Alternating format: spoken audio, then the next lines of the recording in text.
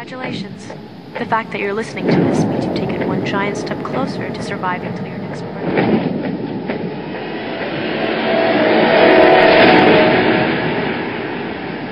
Six of us were made on purpose.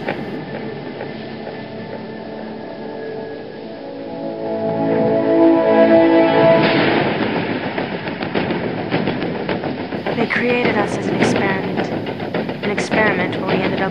98% human. That other 2% has had a big impact. There was one other school experiment that made it past infancy. Part human, part